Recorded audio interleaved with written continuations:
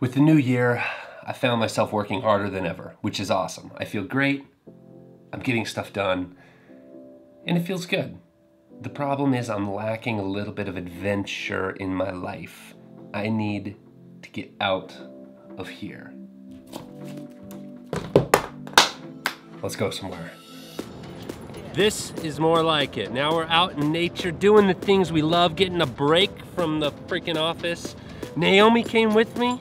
How sweet is that? We're just adventuring like a little sweet couple down at the Cathedral Park underneath the St. John's Bridge in Portland. Yeah, this was built by David Steinman, and this is actually his favorite bridge. Did you even know that? Get out, see some stuff, you know? Learn some things. Enjoy the world.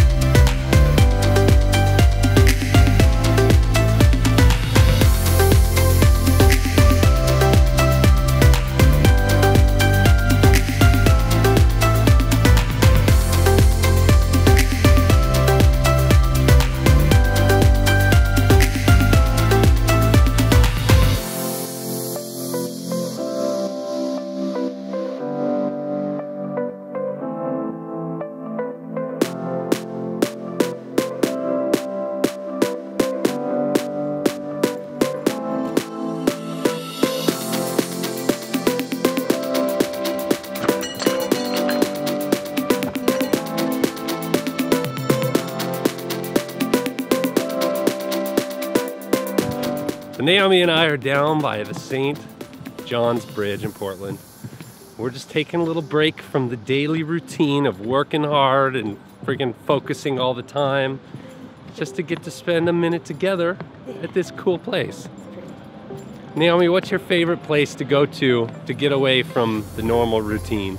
Um, probably out in nature where I can see trees fog and animals and plants. Flora and fauna, I'd say. Flora and fauna? Yeah, I really appreciate some good flora and fauna. And we're out on the dock. We've got this, and then right above us is the bridge. What's your favorite thing to do when you take a little break and get off work? When I take a break and get off work, my favorite things to do are climb, go out in nature and shoot some cool stuff, and just drink a ton of coffee. and hang out with you. Oh, climb, wine, and rhyme. climb, wine, and rhyme.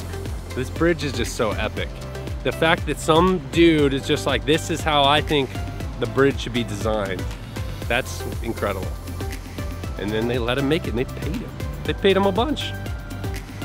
This town's got a lot of cool stuff. I bet you your town has cool stuff too if you just get away from your desk and go look at it. Do some adventuring. Find your inner self. Do something cool short life.